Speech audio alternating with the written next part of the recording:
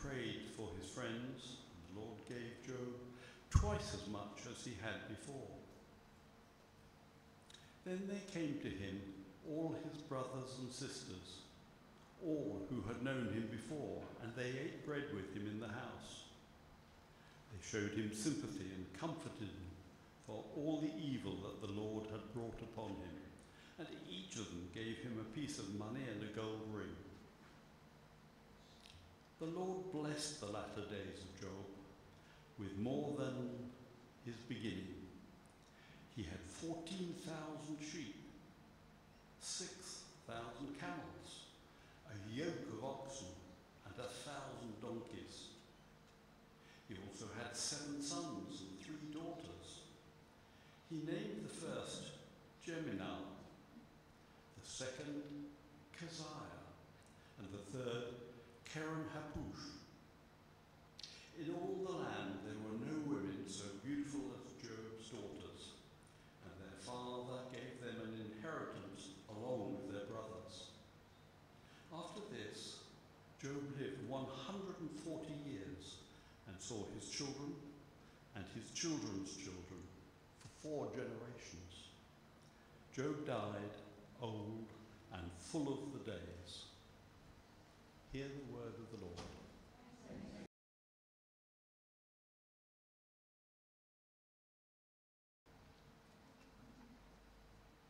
Listen to the gospel of the Lord according to St. Mark, chapter 10, verses from 46.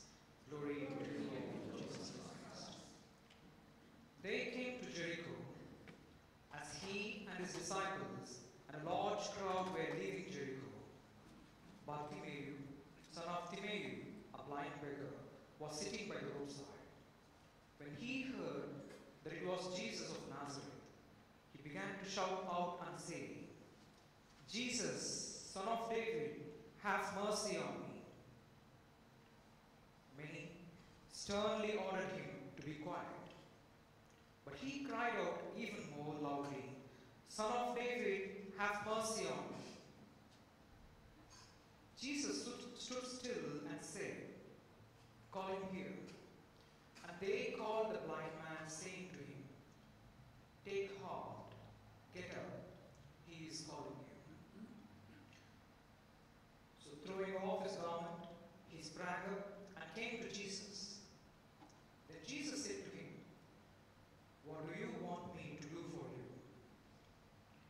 The blind man said to him, My teacher, let me see again. Jesus said to him, Go, your faith has made you well. Immediately he regained his sight and followed him on the way. For the gospel of our Lord. Praise to you, Lord Jesus Christ. Please be seated. Let us pray. Lord, may the words of my mouth and the meditation of our hearts be acceptable in your sight, for rock and redeemer. Amen. Greetings to you all in the precious name of the Lord and Savior Jesus Christ. May the good Lord bless you and keep you all in peace. Amen. For today's reflection, I'd like to take the first reading for today, which is from the book of Job, chapter 42, verses from uh, 1 onwards. The book of Job is one of the oldest books of the Bible, oldest books of the Bible. If we understand that the first books of the Bible, which is also known as the Pentateuch, to be the oldest books, then we should also understand that the book of Job is equally as old as they are.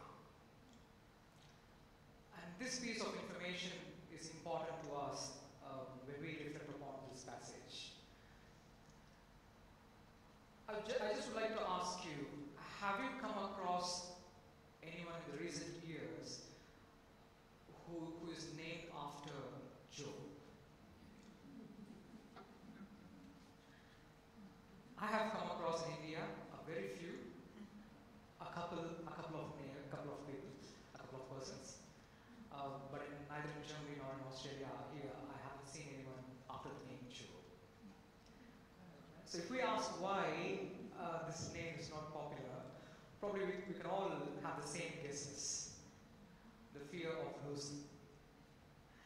Even if I mispronounce Job with job, with a high unemployment rate, I'm not talking about Australia, um, high unemployment rate globally that is happening, there is this fear of losing job. There is this fear of losing.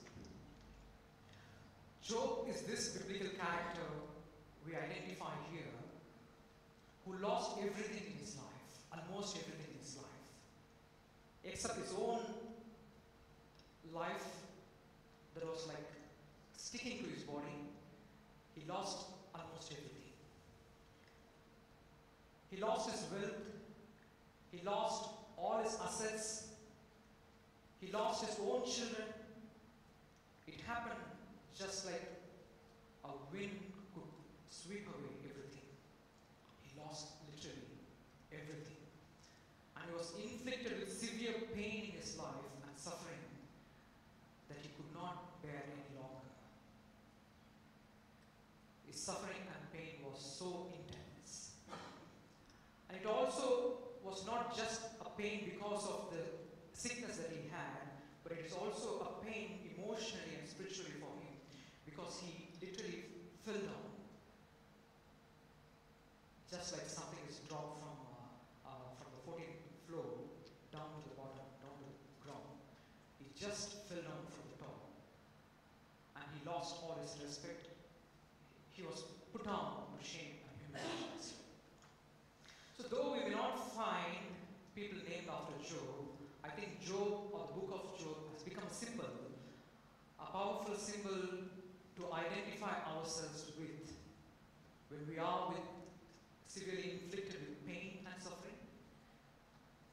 When our lives are swept away by the currents of all that we do not want to have experienced, by terrible losses in our life, by losing our dear ones, beloved ones. All happened sudden in Job's life. So Job becomes a symbol of all that we do not want to experience in our life, all that we do not want to lose. And the book of Job tells us.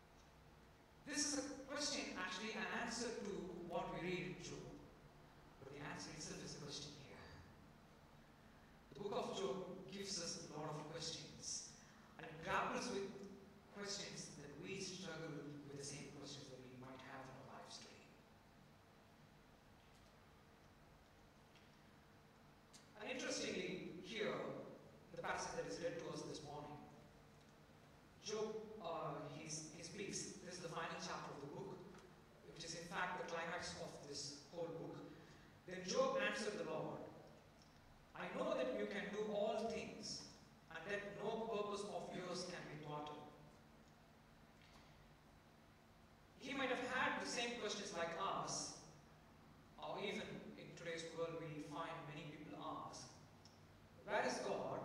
If at all God is there, why wars to happen? Why did not, why does not God stop all these wars? Why does not God stop all the suffering and pain in this world? So it's not a new question, as I said earlier. It's been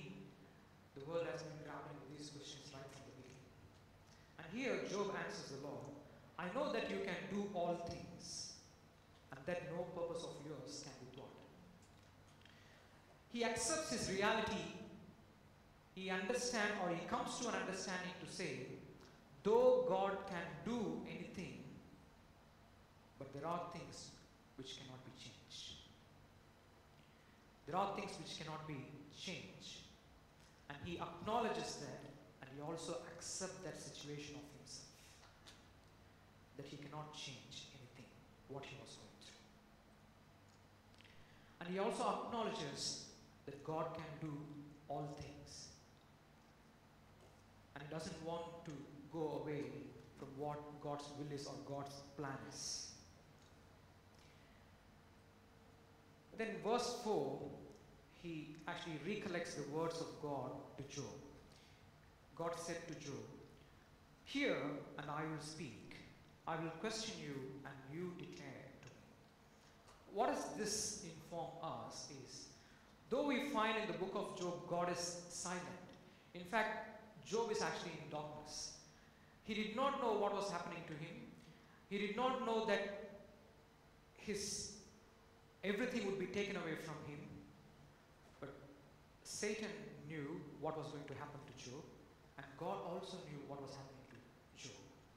So he was in utter darkness, and he might have had the same question why God is silent. And here we find God actually comes to him and speaks to him. So God is silent but not silent, or God is not silent but God is silent in situation. In our life situations, it happens. We may try to hear the voice of God at times when we need God to be with us, God to speak to us, but still we may not hear, and we may feel this feeling that God is silent in my life. God is silent with what I'm going through, and God, I'm not able to find God in my life situation. But here it says God still speaks to Job, we find here. And then when we read from verses 11 onwards, here we find God acknowledges Job's faithfulness first. And then it also says the climax goes like this the Job was blessed with twice fold whatever he had. Uh, it's, it's, it's complicated to understand again. Okay, he lost his wealth, he lost all the property that he had, he lost his fame and everything, but he regained everything. But that still did not or does not compromise um, when he lost his children. It is an irreplaceable loss. Some losses cannot be replaced at all in our lives. And Job was going through that. So we cannot simply say that, oh, God blessed him uh, twice fold and he regained everything again. No, there was an irreplaceable loss to him, though he was again blessed with children who became a blessing again. But what it tells us is he could fresh. He could start his life fresh. To me, I'd like to take that we can think about having a new perspective into our lives.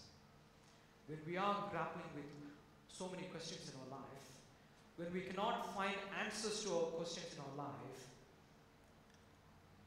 I think we need to accept our reality, acknowledge our weakness, and with that, also try to have a new perspective to our own lives that we can start something fresh. He was with irreplaceable loss, but he started his life fresh. So we can start fresh. It is easy to say from here, standing from here, but for those who are going through, it is not easy. But the book of Job gives us a hope that we can have a new perspective of our life.